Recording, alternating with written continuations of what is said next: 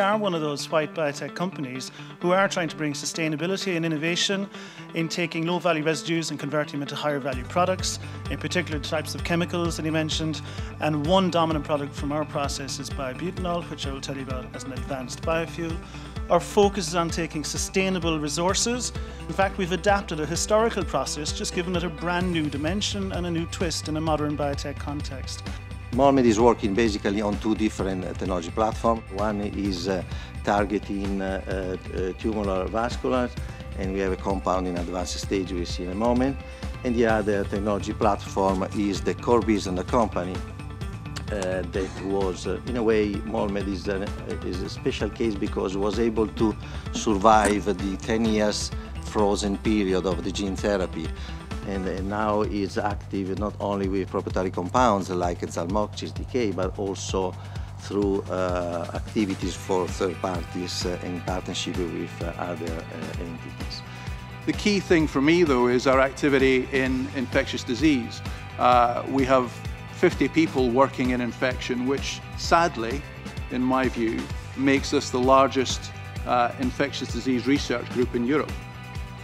And faced with the problem that we are with antimicrobial resistance worldwide, we have to do more in infection to bring new products through and drive uh, research into new products so that the problem with antimicrobial resistance that faces us globally is not going to overwhelm us.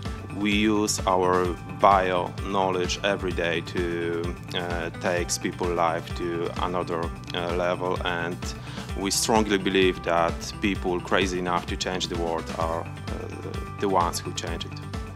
So the winners of the Europa Bio uh, six most innovative European biotech SME award are for the healthcare biotech category, Molmed.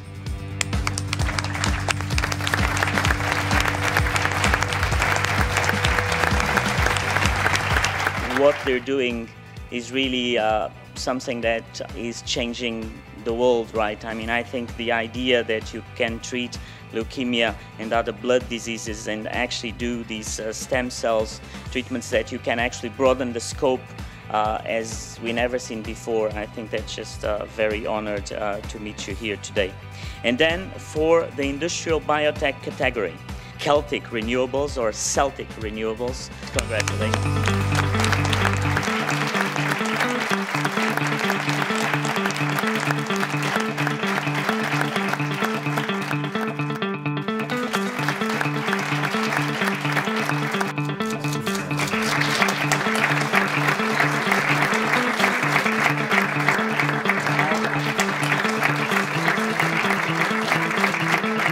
These prizes are uh, really create the dynamic, uh, the incentive, uh, and actually push people to uh, get to uh, another level.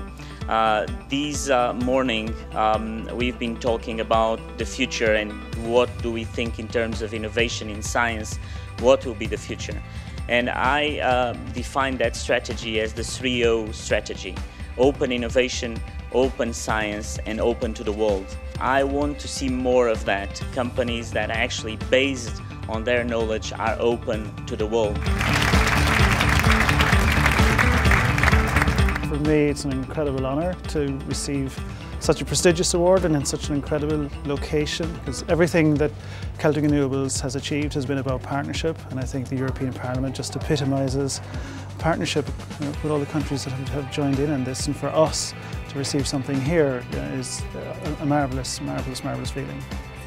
Policymakers should care because uh, this is uh, one of the most uh, uh important uh, areas in which the technology can uh, bring real results to the daily life of the population.